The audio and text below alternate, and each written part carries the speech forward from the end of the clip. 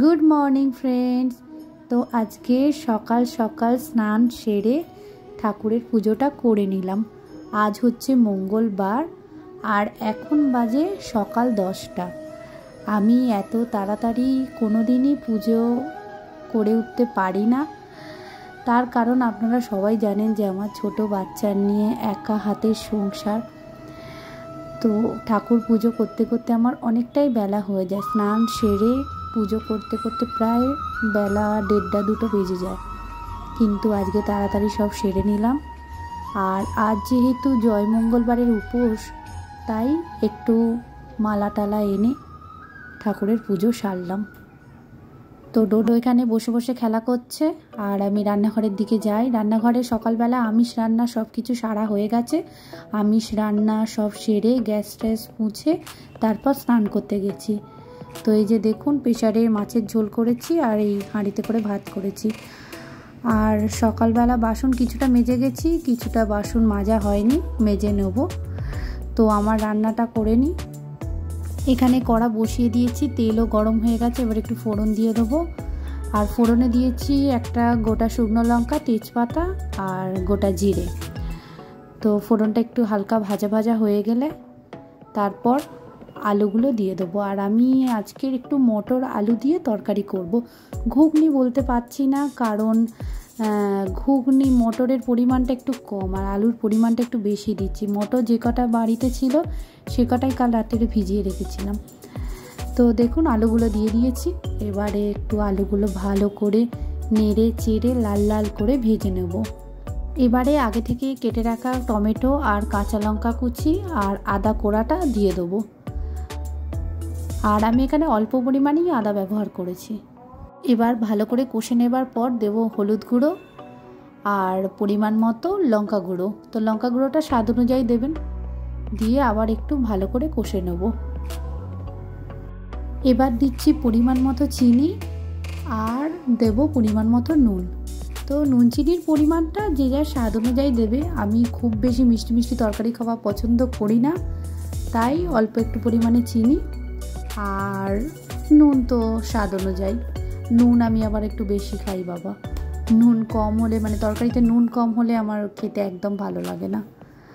তো চলুন, এটা ভালো করে কষে নিই। তো মোটামুটি কষে নেওয়া হয়ে গেছে। এবারে দিয়ে দেবো আগে থেকে সেদ্ধ করে রাখা মটরগুলো।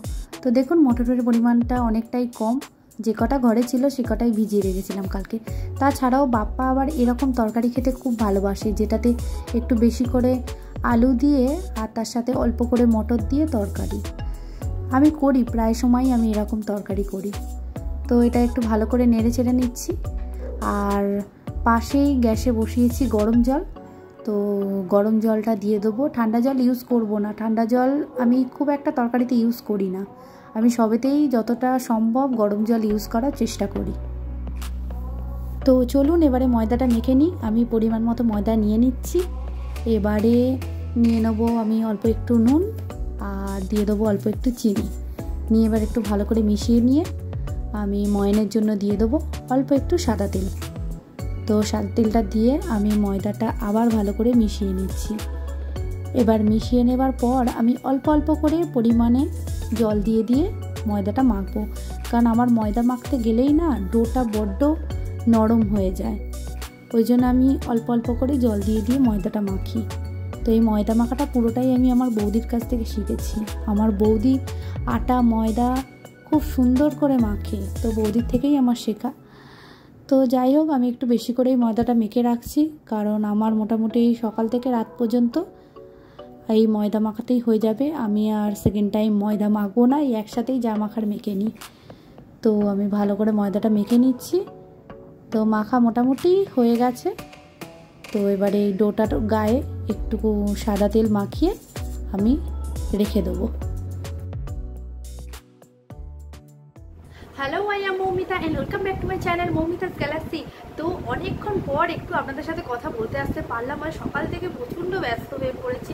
সকাল থেকে কেন? মানে বাড়ি ফিরে থেকেই খুব ব্যস্ত হয়ে পড়েছি। দুদিন তো ব্লগ করেই নি কারণ দুদিন আমার এখানে এসে সব গোছ কাজ করতে সময় লেগে গেল। তো ব্লগ করার আর দুদিন সময় একদমই পাইনি। আজকে যদিও বা শুরু করেছি সকাল থেকে, তো কথা বলতে পারিনি। অডিও পরে সেট করে দিয়েছি। কারণ মানে কথা বলে বলে কাজ করতে গেলে না অনেকটা দেরি হয়ে যায়। মানে যেটা ধরো দশ মিনিটের কাজ, সেটা আমার কুড়ি মিনিট লেগে যায় এরকম একটা ব্যাপার। ওই জন্য তাড়াতাড়ি করে কাজগুলো সেরে নিয়েছি, আপনাদের যতটুকু পেরেছি, দেখিয়েছি।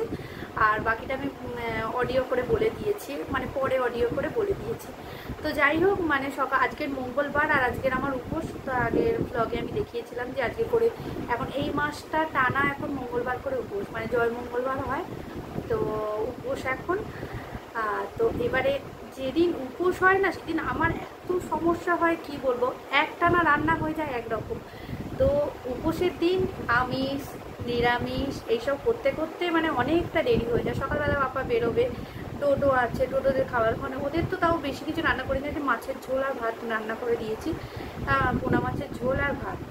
আর তারপর আবার গ্যাস মুছলাম। গ্যাস ট্যাস মুছে তারপর আমার খাবার জোগাড় করলাম। তো তার উপর আবার পুজো দিন উপোস করেছি, একটু ঠাকুরকে না খেতে দিয়ে নিজে খেয়ে নেওয়া যায়? ওই জন্য ভাবলাম তাহলে স্নানটা সেরে নিই। বলে গ্যাস ট্যাস মুছে একদম স্নান সেরে নিলাম। নিয়ে ভাবলাম একদম মানে স্নান করে নিয়ে তারপর পুজো করব, পুজো করে তারপর আমার রান্নার জোগাড় করব। ওদিকে মা সকালবেলা ফোন করে বলে দিয়েছে যে, দেখ, পুজো হয়ে গেছে। মা ওখানে আমার নাম সংকল্প করে পুজো দিয়ে দিয়েছে। কিন্তু তাও আমার ঘরের ঠাকুরটা খেতে না পেয়ে মানে আমি খেয়ে নেব? তাই একদম এসে পুজো করলাম। তারপর তো রান্নাঘরে গেলাম। আমার আলাদা রান্না করলাম, একটু ময়দা মাখলাম আর ওই ময়দা মাখলাম যে একটু লুচি করব ভাবলাম। আর ওই একটু আলু দিয়ে, মটর দিয়ে, তরকারি মতো। ঘুগনি ঠিক বলে না, কারণ মটর পরিমাণটা অল্প, আর আলু পরিমাণটা বেশি। তা মটর আমার ঘরে এই কটাই করেছিল, আর বাপ্পা আবার এইরকম খেতে খুব ভালোবাসে। করে রাখলাম, বাপ্পা আবার সন্ধ্যেবেলায় এসে তাহলে খেতে পারবে। তো ঠিক আছে, চলো আমি খাবার নিয়ে চলে এসেছি আর বকবকটা একটু পরে করছি। আগে খেয়ে নিই, তারপর এখানে এই যে লুচি আর এই আলু মটরের তরকারি নিয়ে এসেছি। চারটে লুচি নিয়েছি আর একটু তরকারি নিয়েছি। আর এখানে এনেছি চিড়ে আর টক দই অল্প, এক চামচ মতো আর আম। এইটা হচ্ছে জয়মঙ্গলবার দিন করে খেতেই হয়। মানে আমার মা বলেছে যে এটা খেতে হয়। আমি অন্তত এটা একটু হলেও খাই। এই অল্প একটুখানি এনেছি। আর লুচি খেয়ে পেট ভরিয়ে ফেলব। সকাল থেকে কিছু খাইনি, এটাই আমার ব্রেকফাস্ট এটাই আমার লাঞ্চ তো চলুন খেয়ে নিই তারপর আবার কথা বলছি আপনাদের সাথে। আমার খাওয়া দাওয়া করব, মিটে গেছে, এবার ডোডোকে খাওয়াবো। ডোডো আসলে সকালবেলা একবার ভাত খেয়েছে, কারণ ও এখন সকালে করে আমি একটু ভাত খাইয়ে দিচ্ছি। আবার বেলার দিক করে মানে ওই আড়াইটে, পৌনে তিনটের দিকে আবার একবার ভাত খাওয়াচ্ছি। কারণ সকালে করে ওই কিছুদিন আগে ওর জ্বরটা হলো না পেটের সমস্যা থেকে জ্বরটা হয়েছিল। ওই জন্য কী খাব কী খাব বুঝতে পারি না। ওই জন্য সকালে করে দু চার বেলা ভাত খাইয়ে দিই মানে তিনবার ভাত খাওয়াই ওকে। ওই সকালে একবার খাওয়াই বেলাতে একবার খাওয়াই উম, দুটো আড়াইটের দিকে আর তারপর আবার রাত্রিরে একবার খাওয়াই। এই এখন ভাতের ওপরই রেখেছি ওকে। ওই ঝোল করে নিই। আর না সকালের দিকটা ঝোল খায় না। সকালের দিকে একটু ফ্যান আলু ভাতে ভাত যদি ডিম সেদ্ধ খেতে চায়, ডিম সেদ্ধ, ডিমটা দিই না, কারণ সকালবেলায় ফ্যান, আলু আর ভাত খেতে খুব ভালোবাসে। ফ্যানা ফ্যানা ভাত তুলে দিলে খুব ভালোবাসে খেতে। আর ডিমটা যেহেতু রাত্রিরে খায়, ওই জন্য আর সকাল করে ডিমটা দিই না। রাত্রিরে ডিম না হলে একদম ভাত খেতে চায় না। সকালবেলা ওই জন্য আলু, এমনি ভাত আর ফ্যান দিয়ে খাইয়ে দিই। তো এটা খাওয়াই ভালো, আমার মনে হয়। যাদের মানে যেসব বাচ্চাদের একটু পেটের সমস্যা আছে, তাদের ভাত খাওয়ানোই ভালো। রুটি তো আমার ডোটো সহ্য হয় না, আর রুটি খেতে খেতেই ওর সমস্যাটা হলো। জয়নগরে, এখানে তো আমার বাড়িতে রুটি হয় না, আর জয়নগরে গিয়ে না শুধু রুটি রুটি রুটি করে পায় না। আর ওই যে এখন বসে বসে কী করছে?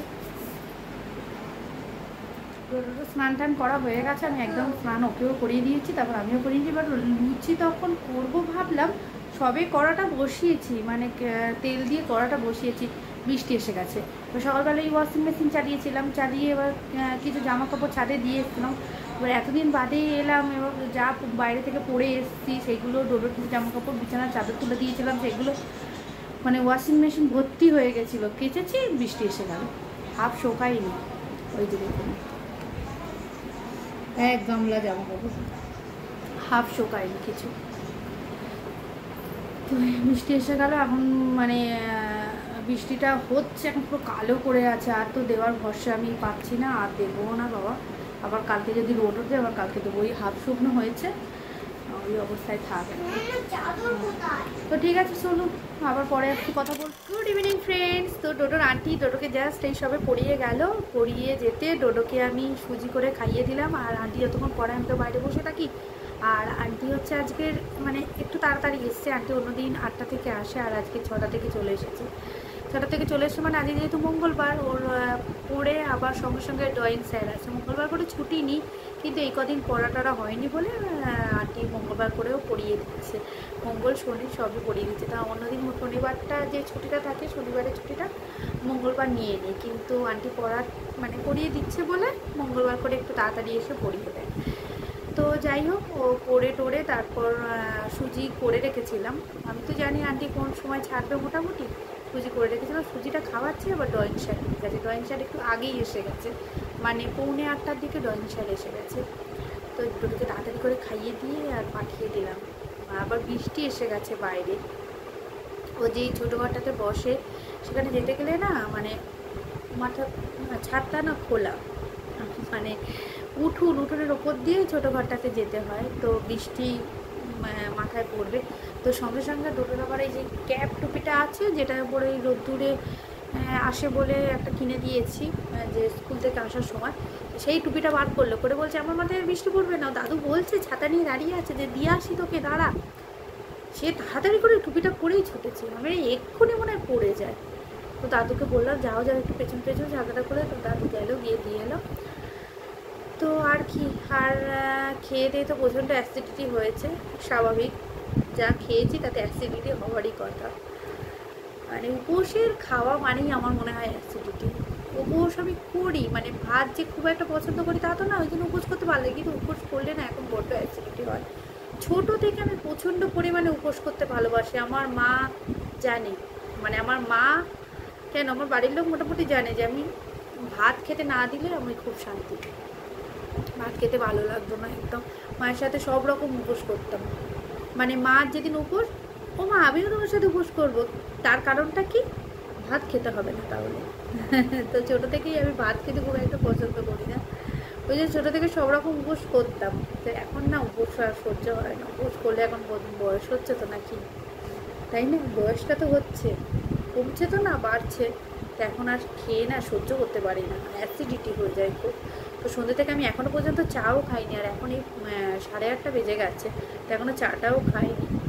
তো যাই, এবারে চা করব আর বাপ্পাকে ফোন করলাম। বাপ্পা বলল যে, আমি একটু চলে আসব। তো চাটা করে খাই। আর রাত্রি আর কিছু সেরকম রান্না করব না। বাপ্পাও লুচি খাবে বলেছে, ওরও লুচি করে দেবো। আর ওই তরকারি তো করাই আছে। আর যদি মিষ্টি মিষ্টি আনে, মিষ্টি দিয়ে খাবে। আমি আর মিষ্টি মিষ্টি খাচ্ছি না বাবা। আর লুচিও আমার খেতে খুব একটা ভালো লাগছে না।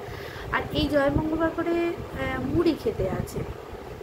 চিড়ে মুড়ি সব রকম খাওয়া যায় জয় মঙ্গলবারে আমার ভালো হয়েছে। আমি রাত্রে দুটো মুড়ি টুটি খেয়ে মুড়ি আর ওই তরকারি মেখে খেয়ে আমার আর লুচি ফুচি খেতে ভালো লাগছে না। প্রচণ্ড অ্যাসিডিটি হয়েছে। তো ঠিক আছে, চলুন আর আজকে কিছু শেয়ার করার মতো নেই। রান্নাবান্না সবই করা আছে, আর কিছু শেয়ার করার মতো নেই। তো আজকের ভিডিওটা তাহলে এখানেই এন্ড করছি। সবাই ভালো থাকবেন, সুস্থ থাকবেন, সাবধানে থাকবেন। কাল আবার আসছে একটা নতুন ভিডিও নিয়ে। নতুন মানে সেই একঘেয়েমি লাইফস্টাইল আমার এখানে বাপের বাড়িতে থাকলে তাও একটু হয়তো নতুন করার চেষ্টা করি। মানে ওখানে অনেক রকমের কন্টেন্ট থাকে। এখানে কন্টেন্ট কোথায়? সেই এক মানে এক ঘেয়েমি সকাল থেকে উঠে সেই কাজ করো, রান্না করো, বাচ্চা সামলাও। ব্যাস। তো ঠিক আছে, চলুন আবার কাল দেখা হচ্ছে। টাটা।